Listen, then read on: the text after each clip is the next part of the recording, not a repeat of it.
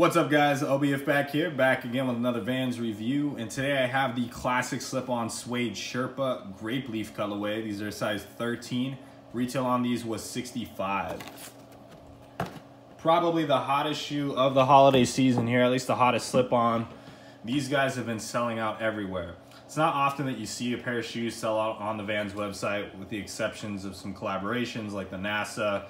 We just finally started to see the Mickey uh, anniversary stuff sell out. So this one selling out was a, a, little bit of a surprise, but it seems like everybody uh, has been after the shoe.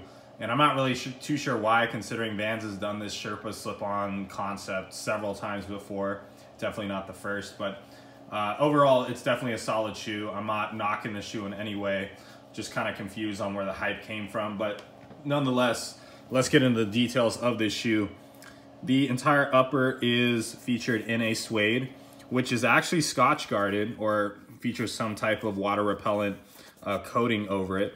And it's weird because they don't really advertise it. The only place I saw advertise it was on the website. Typically you would see something on the shoe, like a little hang tag or something that would let you know it's water resistant. Uh, or even like a scotch guard tag under the tongue, but there's not really anything. So just a good piece of information to know uh, before buying these. They are water resistant. I have already tested these out. The grape leaf colorway makes an appearance here on the toe box for the vamp, as well as on this heel counter. You will also see a slightly different green shade on the quarter panels here, which is more of like a muted color, so it kind of has like a grayish uh, olive blend to it. Very nice touch though. I'm not sure if I already mentioned it, but the suede quality is definitely on point for these. As far as the GR goes, this is some pretty good suede, I'm not gonna lie. Very happy with how these came out. Sits on top of a solid white midsole here with the white foxing stripe. You got your black off-the-wall skateboard on the heel, slightly darker gum waffle outsole. Vans flag on the side is a white flag with the black logo. Of course, we have the white elastic gore to match. And then the star of the show, the Sherpa lining. So the Sherpa lining will be pretty much the entire interior of the shoe. Underneath the vamp, all the way down on the insole, just totally lined with the Sherpa. Um, from my experience of briefly wearing these, I didn't really seem, it didn't really seem like it would make my feet sweat in any way or be too warm.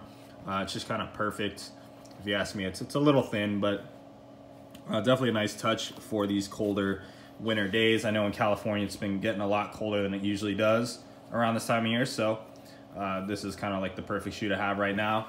But the Sherpa lining is pretty much just your standard Sherpa. It is faux fur. It is not like the North Face uh, Chukkas that had the real sheep fur in it. So uh, those of you who are wondering about that, and these do fit true to size. Not really too much else to say about these. I mean, pretty simple suede slip-on with the Sherpa lining that is, like I said, water resistant.